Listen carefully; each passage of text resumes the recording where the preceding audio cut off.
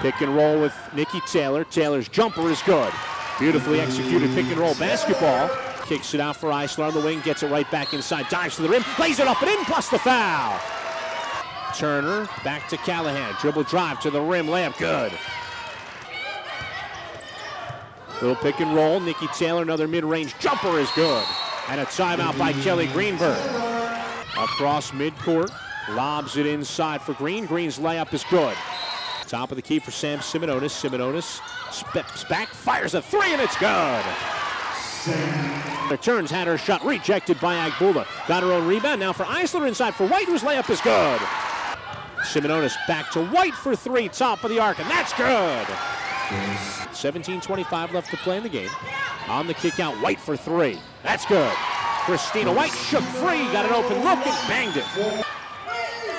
But the Catamounts block. Simononis fakes Gallo in the air, steps into a jumper and knocks it down to the baseline. Hesitates and reverses back for Britton. Britton lobs it inside for Wheeler. Wheeler spins, banks it up and in with a left hand. Inside for Agbula. Agbula kicks it out for Hope. Hope for three. That's good. Now Nikki Taylor, top of the arc. Arc inside for Brenner, dribbling to the right, gets to the rim and lays it up and in. Fades it back to White. White, ball fake and drive with the left. Gets in the lane, lays it up and in with the right hand. Tough shot by Kristina White. She kicks it out for Latham, right back inside. Spins and fires a jumper, and that's good over top of Annie Wheeler.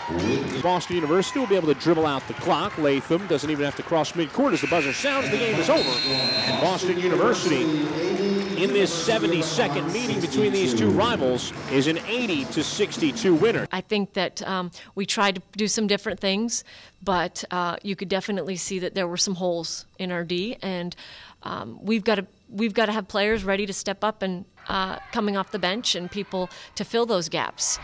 Uh, so everybody got lots of opportunities. We're going to keep working. You know, we just we need to buckle down and learn how to get some stops. So we need to learn how to play when people are out and injured.